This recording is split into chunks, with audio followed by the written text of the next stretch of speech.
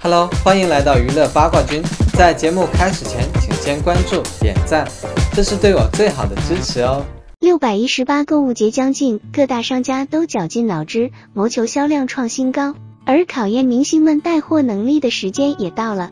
几乎半个娱乐圈的明星都投身到各大六百一十八晚会中。相比之下，尚未正式回归荧幕舞台的肖战，倒显得有几分落寞。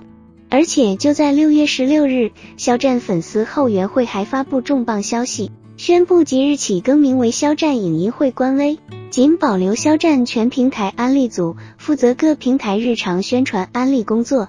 肖战影音会将撤去副会职位，今后会将重心放在肖战的影视、音乐等作品和活动宣传上，专注公益，以实际行动传递正能量。这也意味着肖战从此之后并没有官方的后援会，影音会也只以宣传为主。对于一个正在的流量来说，在六百一十八这个比拼带货实力的关口，粉丝们来一波这样的操作，的确勇气可嘉。这一切也源于偶像的引导作用。在前段时间，网络上频频爆出肖战粉丝超出底线应援事件，给肖战本人和粉丝群体都带来了严重的负面影响。肖战及工作室多次严肃发文规劝，倡导粉丝好好学习、认真工作，尽好自己的责任和义务，遵守职业规范和行业底线。肖战更直接说：“我不需要应援”，表达了自己的态度。肖战后援会更名也是跟随肖战步伐的转型，为了肖战未来更好的发展。不过，对于肖战来说，从去年《陈情令》走红至今还不到一年时间，其中更有数月深陷网络负面舆论泥沼中，甚至至今仍受二百二十七事件困扰。此时此刻却没了粉丝后援会的助力，在数据方面和其他流量比拼的确处于劣势。面对这些，肖战真的无所畏惧吗？肖战当然是有底气的。某财经数据研究机构发布的明星消费影响力榜单中，肖战以满分的消费辐射力和带货直达力指数登顶在休闲食品品类消费影响力冠军。在此次某电商平台六百一十八活动中，肖战代言的同款啤酒月销售突破七五零零零家，销售额突破一千五百七十四万。某自热饭品牌全线代言产品月销售额突破两千二百七十一万，其中限量五万份明星套装销售额达到九百九十万，一直保持着优异的消费带货力。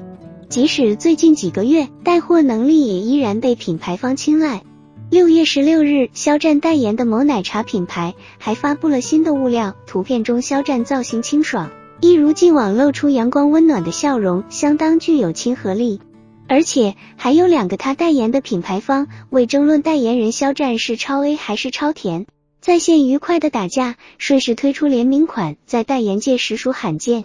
这一切都最终说明了肖战真正被大家看到并且被喜欢，即使没有后援会，也一定有清朗的未来。另外，肖战荣登最新一期明星势力榜冠军。作为扶贫产品体验官，肖战实地走进河北玉县，引发了强烈反响。肖战用自己的实际行动带动大家对于公益的关注和参与。肖驿站发起的二零二零年度的随手捐书活动也得到了大家积极的响应和参与。从五月底发起到目前短短半个月时间，已经陆续收到了一万六千本爱心图书，该数量为公益组织工作人员粗略估算。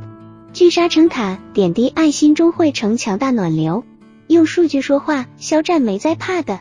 但是从今以后，大家会更加关注肖战的影视作品、音乐作品和肖战的公益活动本身。没有了后援会的肖战，依然可以凭实际行走娱乐圈。有一句话说的非常好，这句话用在肖战身上也再合适不过了。冤枉你的人比任何人都知道你有多么的冤枉，多么的委屈。那些打着肖战壁虎的黑粉们，比谁都清楚肖战是有多么的委无奈。试问那些人有什么理由要不断的抵制一个充满社会责任心、到处做公益、帮助了很多需要帮助的人、懂得感恩的正能量偶像？近日，肖战代言的开小灶线下体验馆已经实名落地，就在沈阳苏宁广场。六月二十日开始，倒计时还有四天的时间，这无论对于支持肖战的粉丝。还是对于肖战自己来说，都是一个非常好的消息，也了解证明了正能量的偶像依旧有很多的人在背后支持，这些人的做法值得点赞，值得我们为他们摁个棒。